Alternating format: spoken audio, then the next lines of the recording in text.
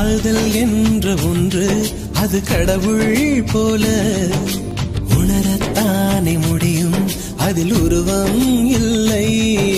காயம் கண்ட இதயம் ஒரு குழந்தை போல.